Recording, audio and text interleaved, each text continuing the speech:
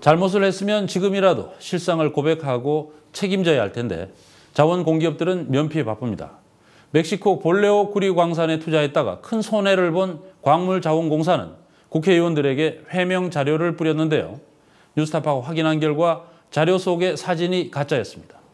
증거 사진까지 가짜로 만들어서 국회를 속이려 한 광물자원공사의 행태를 조승호 기자가 보도합니다. 박수를 받으며 시작했지만 지금은 부실 자원 외교의 상징이 돼버린 멕시코 볼레오 구리광산 투자. 현직 장관조차 무리한 투자라고 평가합니다. 볼레오 같은 부분은 지금도 어, 광물장공사의 역량에 어, 벗어나는 그런 사업이라고 생각을 합니다.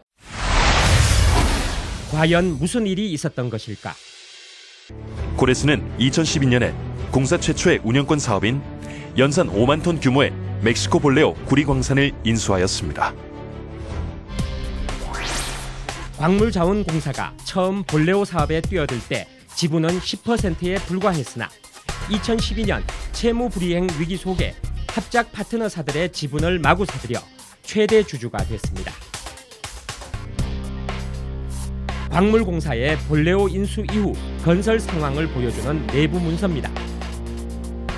건설비 누계를 보니 2012년 1월 3억 6천만 달러, 2013년 1월은 7억 4천만 달러입니다. 2012년 한 해 동안 서류상으로 3억 8천만 달러, 4천억 원 가량이 투입된 것입니다. 같은 기간 공정률은 24%에서 52%로 배 이상 높아졌다고 돼 있습니다. 그러나 실제 공사는 그만큼 진행되지 않았고 2012년 투자에 4천억 원이 사라졌다는 의혹이 야당과 시민단체들로부터 제기됐습니다. 2012년 1년간 현장의 모습입니다. 문서에 적힌 것처럼 공정이 배 이상 진척됐다고는 믿기 어렵습니다. 제 구조물을 먼저 하고 그 구조물 하고 나서는 그 내부적인 뭐 철골이나 파이프 이런 작업들을 그 당시에 했답니다. 2012년에 파이프라든가 이런 시설들을 다 하고 있었기 때문에 손에 쓰여졌다고 하네요. 광물공사의 답변도 선뜻 수긍이 가지 않습니다. 볼레오 관련 의혹이 집중 제기되자 광물자원공사는 지난해 10월 국회의원들에게 해명 자료를 뿌렸습니다. 해명 자료에 들어있는 2012년 외부 건설 공정 현황입니다. 광물공사가 첨부한 사진 석 장. 처음과 끝 사진을 비교하면 한눈에 봐도 1년간 공사가 꽤 진척됐음을 알 수 있습니다. 그러나 뉴스타파가 확인한 결과 뒷사진은 그해 12월 사진이었지만 앞 사진은 2012년 사진이 아니었습니다.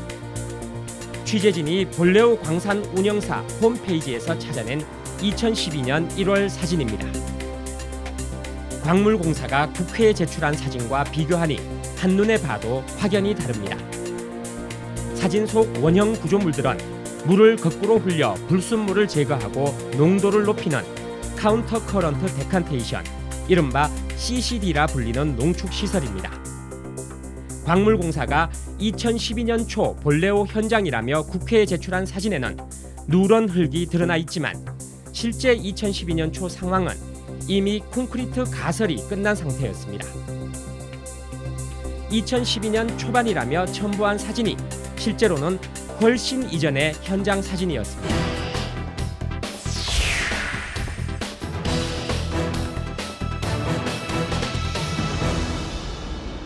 광물공사에 이유를 물어보려 했으나 만나기를 거부했습니다. 국회에 제출한 자료에 대해서 여쭤보려고 합니다. 그 자료는 저 김 팀장님이 만드셨을 것 같아서 홍보실 통해서 답변을 드리겠습니다. 해당 부서에 얘기를 해서 이게 뭐 언제 사진인지 물어보겠습니다. 그러나 홍보실조차 일주일이 다 되도록 답변이 없었습니다. 광물공사가 4천억 원 의혹을 해명하는 과정에서 가짜 사진을 제출한 것은 돈이 현장에서 쓰인 것처럼 꿰맞추기 위해 공사 진척을 실제보다 과장하려 한 의도가 아니었느냐는 의문이 생깁니다.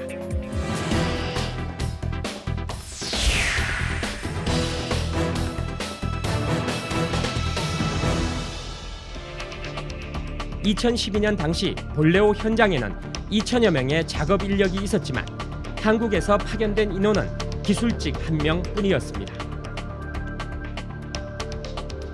광물자원공사는 뒤늦게 현장에 실사팀을 보냈습니다.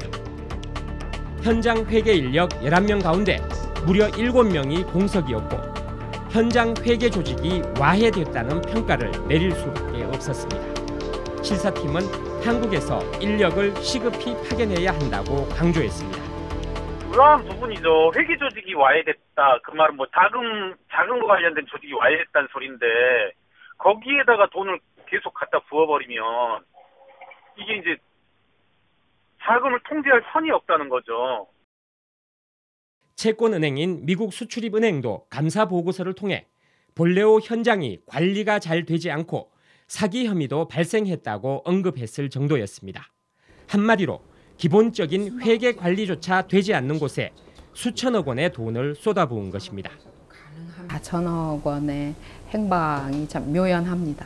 납득할 만한 해명을 내놓지 않으면 음, 거기에 대해서도 충분히 저희들이 다시 이제 의혹을 제기할 필요가 있는 거죠. 천억 원 안팎의 돈을 현장에 쓰지 않고 다른 데 써버리고 회계적으로만 현장 공사에 투자했다고 거짓말했을 개연성이 매우 높은 이것은 정책적 무능으로 보기에는 어렵고 조직적인 어떤 부정과 부패 철저히 수사를 통해서 밝혀내야 된다고 생각합니다. 공기업이 가짜 사진으로 국회를 속인 사실까지 드러나면서 볼레오 광산 4천억 원을 둘러싼 의혹은 더욱 커져가고 있습니다. 뉴스타파 조승호입니다.